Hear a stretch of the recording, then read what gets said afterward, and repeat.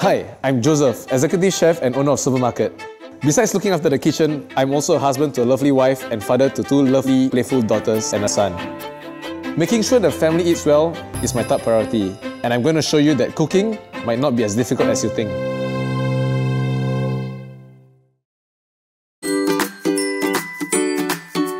Rather recently, my wife and I welcomed a son to our family. During her confinement, we actually prepared a very simple but I feel a very tasty dish. It consists of some chicken, young green papaya, red dates, and longan.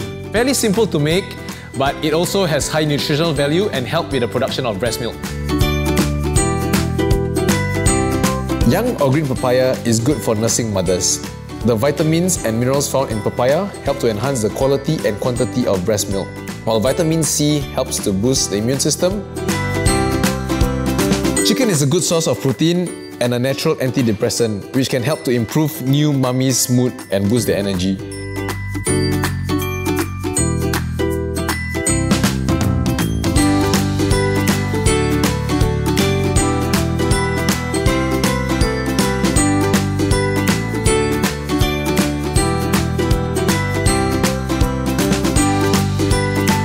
Dates are a great source of iron, which helps to replenish the blood and reduce chances of anemia.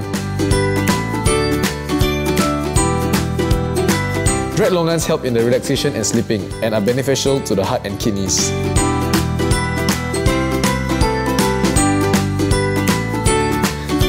Here you have it, a very simple soup of chicken, green papaya, red dates and longans.